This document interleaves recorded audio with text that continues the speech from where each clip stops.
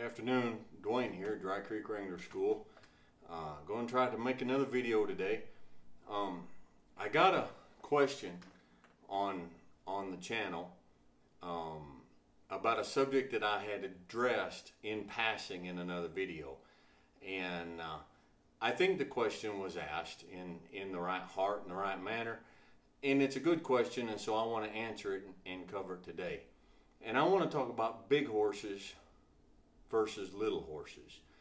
Uh, and it may be more relevant than you uh, first think. Um, by the way, before we get started, I had another fella uh, comment about just mentioned to me that the volume has been pretty low, and it has been, and I apologize for that. I finally went today and got me an adapter so I could plug the microphone into my phone. Hopefully that helps the volume and, and things are a little better. But big horses versus small horses. And what this person asked was, how come you, as a big man with heavy saddles, ride little horses?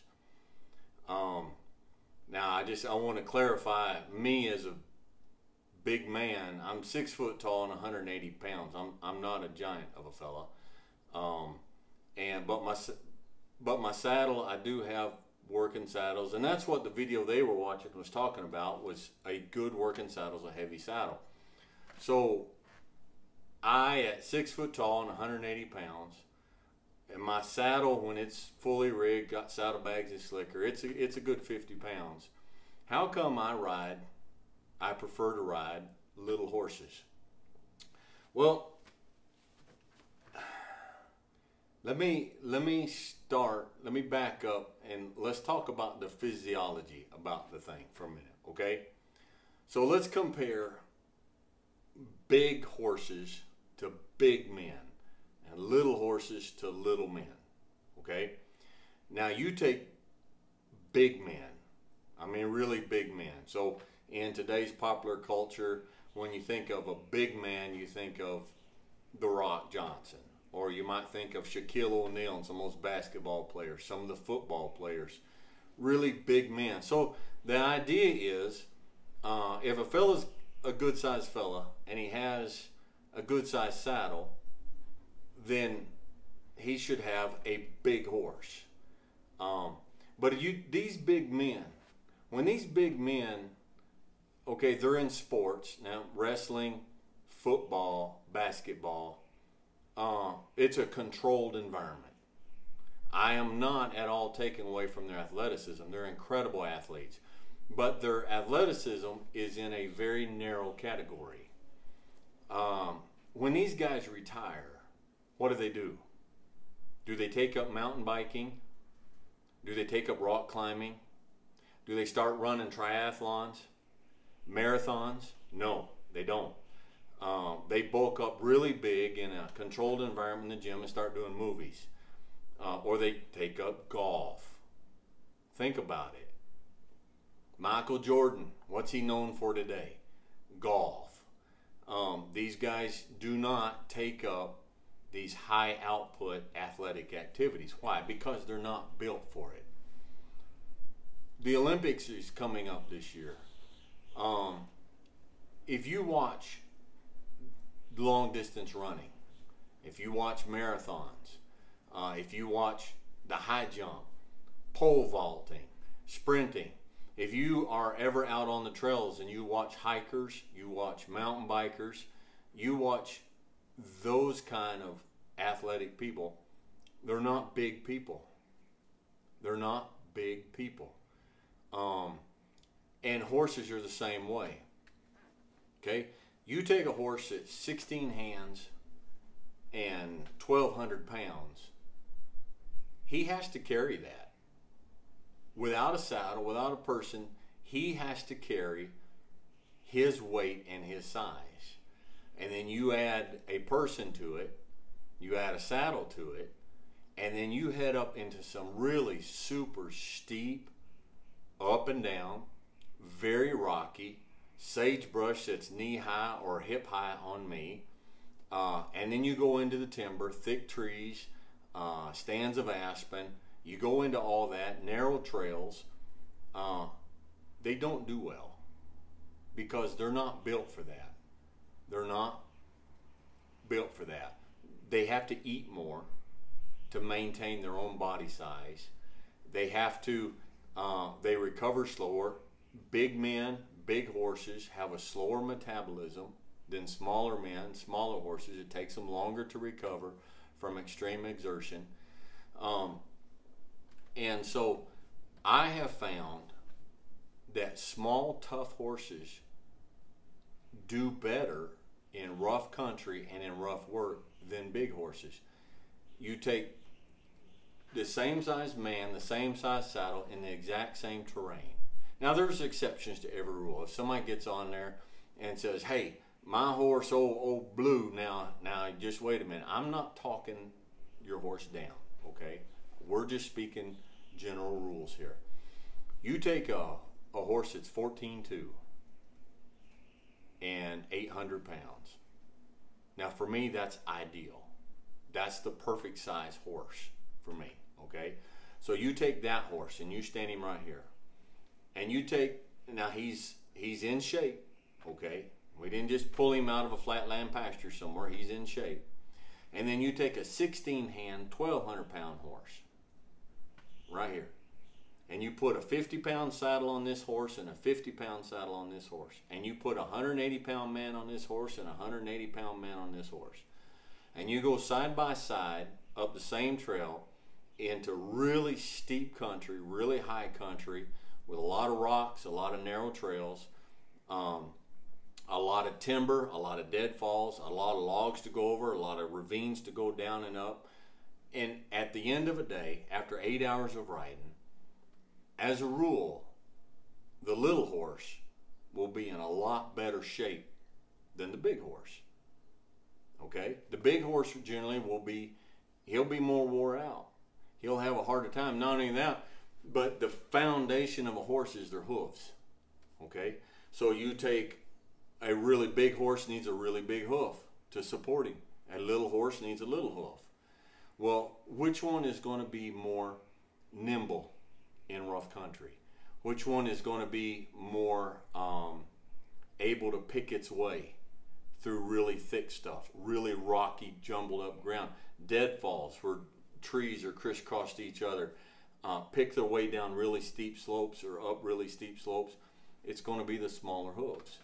Just like the smaller men are rock climbing and are in the back country in the extreme, the smaller horses do better. And so it's it's more um, it's it's more conscientious of the horse for one thing. Uh, it's it's not re- it's not right in in my view to take a horse that is not um, anatomically designed for a certain genre and put him in it. Any more than it's right to take a little horse and put him out in a plowed field and put a big old plow behind him. He's not built for that. He's not designed for that. Now, some anecdotal reference here. We went out the other day, and, and I've mentioned it before, in some really super steep, really rough, really rugged country. There were 13 of us out there gathering cattle in the mountains there was not one big horse in the bunch. And these are guys that do this for a living. There, I don't think there was one mare. There was one mare that was over 15 hands. There were two or three that were at 15 hands, and then predominantly most of the horses were at like 14.2, and they were slimmer, more rawhide built horses. Because um, the guys know they do this for a living, they know that these type horses, they do better. Uh, if you're if you are going up a really steep grade, okay, and it's covered in sagebrush, and it's rocky, and you've got a five week old calf scampering up, uh, trying to trying to get away, and you've got to tear up that slope after that calf you got to go uphill through the sage and through the rocks at speed without falling and without slipping to get up and around that calf to push that calf back down. You do not want a great big horse. You do not want some thoroughbred that's 16 hands and and fine boned. You don't want some you don't want something that's 16 hands and half percheron with size 4 shoe. Uh, you want an athlete that can scamper up and pick its way through that without falling, get above the calf at speed, and push the calf back down. And if you're packing or wrangling, it's the same thing.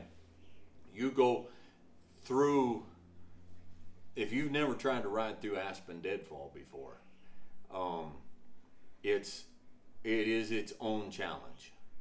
And you have a giant horse, and you've got an aspen tree about that big around that has fallen across another aspen tree. So the top of that tree is 18 inches above the ground, and the trail's only about so wide, and you and they have to go over it. Now it seems counterintuitive, maybe if you're a little bit green, but the little horse can nimble his way over that log much easier than a big horse because a big horse has to get all of his size and all of his body weight as massive as it is over that log plus his rider in the saddle. Um, the taller the horse the taller you are up in the trees. You can't pick your way through the heavy stuff. Uh, big horses are long legged so it's really hard for them to slow down and be nimble and pick their way through the rough stuff be it sagebrush or a pine thicket or an aspen grove. Um, and so, so yes, I, I ride smaller horses uh, at my size. It's easier on me uh, because the horse isn't as likely to fall and we can go through the rough stuff and get the job done, but it's easier on the horse. Um, it's like taking one of these great big football players. Now, some of these football players, they do phenomenal speed at, you know, at the 100 yard dash. Phenomenal.